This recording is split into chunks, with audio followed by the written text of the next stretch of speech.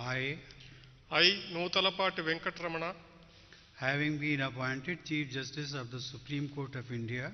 having been appointed Chief Justice of the Supreme Court of India, do swear in the name of God do swear in the name of God that I will bear true faith and allegiance to the Constitution of India as by law established, that I will bear true faith and allegiance to the Constitution of India as by law established, that I will uphold the sovereignty and integrity of India, that I will uphold the sovereignty and integrity of India, that I will duly and faithfully and to the best of my ability, knowledge and judgment that I will duly and faithfully and to the best of my ability, knowledge and judgment